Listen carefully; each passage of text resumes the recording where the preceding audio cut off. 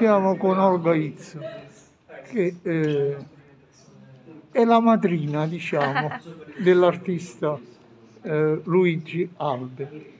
È vero? Sì, buonasera, siamo stasera a questa mostra bellissima allo Spazio Amira.